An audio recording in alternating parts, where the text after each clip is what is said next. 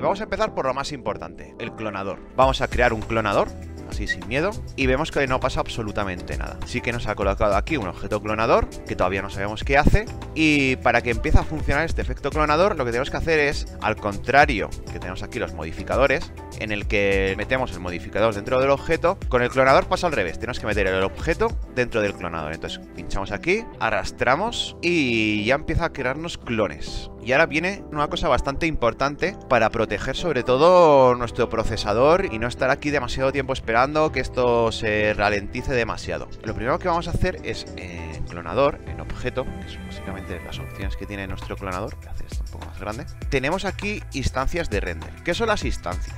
Voy a, ver si lo puedo resumir de alguna manera un poco fácil de entender. Es que es una cosa bastante abstracta. A ver, cuando nosotros creamos un clon, por ejemplo, estos que tenemos aquí, voy a estirarlo más para que lo veamos. Ahora, tal y como están ahora mismo, para Cinema 4D son tres cubos. Tres cubos que tiene que dibujar todas sus caras cada vez que movemos el visor. Internamente en nuestro ordenador, nuestra tarjeta gráfica lo que hace es redibujar todas estas caras de los tres cubos. Para él son tres objetos diferentes.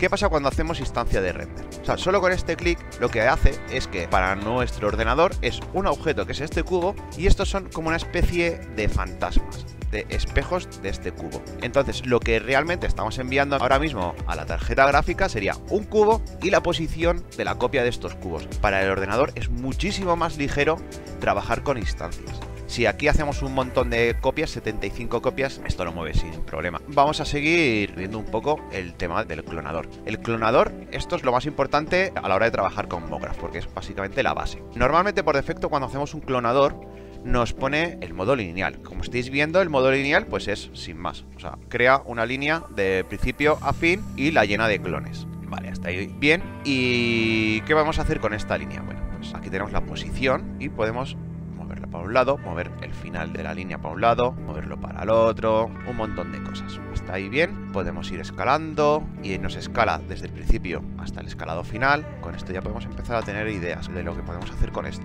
Todo esto que tenemos aquí, todo esto que estoy moviendo yo ahora mismo, es animable. Aquí es el único sitio donde vamos a empezar a poner algún key. Es muy sencillo, por ejemplo. Si vamos al punto 0, colocamos un key a esta posición y vamos al punto 90, movemos esto y colocamos otro key, a la hora de darle a play nos interpola entre las dos posiciones.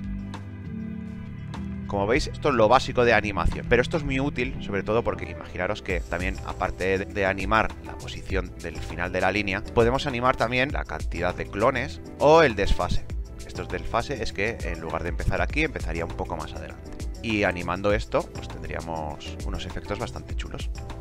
El siguiente modo que vamos a ver es el radial. Nos puede ayudar a hacer bastantes cosas y podemos conseguir unos efectos bastante chulos con él. Vamos a ver un poco las opciones que tiene aquí. Por ejemplo, sería aumentar el radio, que es lo primero que vamos a hacer. Y vemos cómo nos expande los objetos que tenemos aquí clonados. Como hemos dicho antes, activamos la instancia de render para que no se nos muera el procesador ni la tarjeta gráfica. Y aparte de hacer crecer el radio, pues también podemos hacer crecer la cantidad de objetos que hay. Imaginad que tenemos que incluso ya no solo animar, sino modelar un reloj, pues mira, ya tenemos aquí todo este tema hecho. Aparte, bueno, cantidad, ¿qué más tendríamos por aquí? Tendríamos el ángulo inicial y final. Esto también, como antes hemos hecho, también es animable poniendo aquí un key. Y eh, imaginad que queremos hacer una animación de esto creciendo. Solo tendríamos que poner aquí, eh, marcamos 360, ponemos un key, nos vamos al 90 y donde pone 360 pongo 0.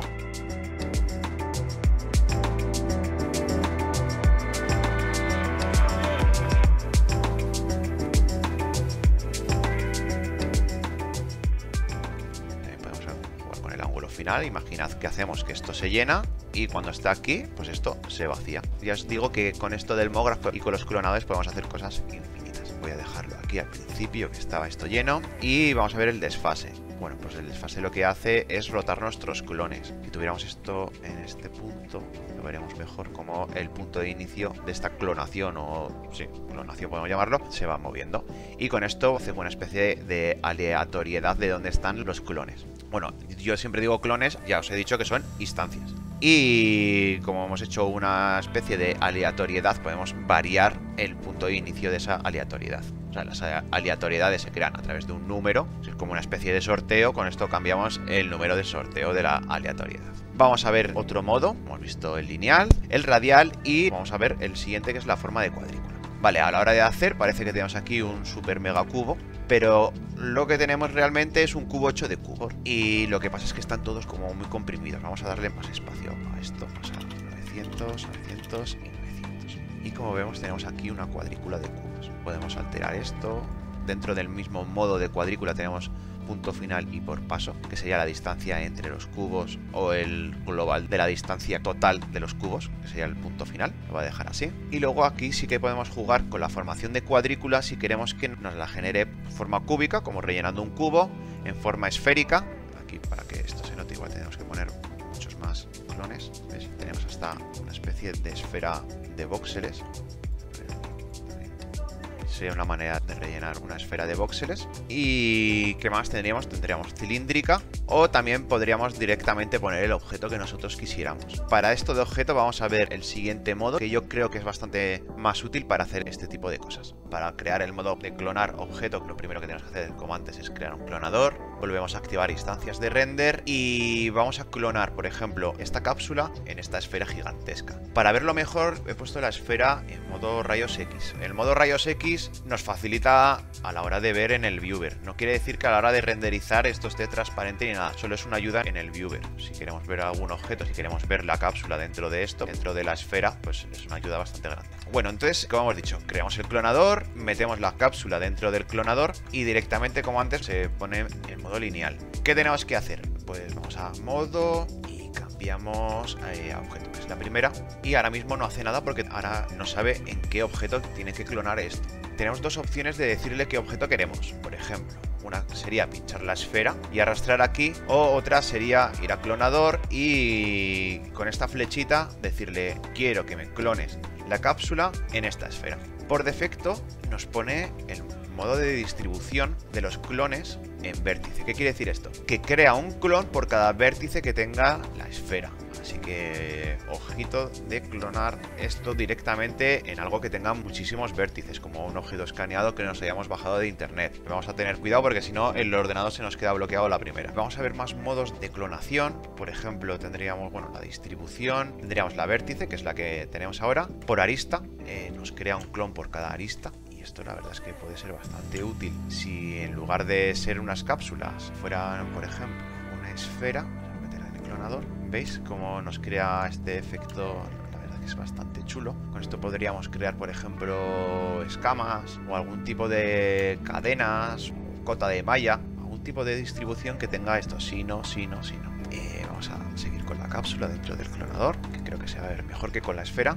Y vamos a ver más tipos de distribución. Centro del polígono, pues lo dicho, cada polígono que tenga la esfera, pues nos va a crear en el centro de ese polígono una copia de nuestro objeto. Otra cosa que no hemos visto es la pestaña transformar. Aquí podríamos rotar nuestro clon. Si os estáis fijando, está rotando en este eje, pero si encontramos el eje adecuado, podemos hacer, ¿veis cómo rota y podemos hacer que quede perpendicular a lo que es el polígono. Esto también es animable y podríamos hacer unas cosas bastante chulas como hemos visto solo rotando los clones ya podemos hacer cosas que estén bastante chulas y unos efectos bastante molones. Tanto rotar como escalar, o sea, de movidillas, ¿sabes? Como aquí casi tendríamos unas escamas y si esto lo rotamos, pues os cuento ya guapo que puede ser, ¿ves? Como si animaríamos esto podríamos hacer directamente casi como unas olas. Dejamos esto como estaba y vamos a ver otro modo de distribución que lo tenemos aquí, centro de polígono y bueno, este yo creo que es el que más uso porque imaginad que queremos distribuir unas piedras por un plano o bueno, o en este caso imaginad que queremos distribuir unas piedras aleatoriamente por encima de esta esfera. Entonces pondríamos en superficie y nos lo crea un poco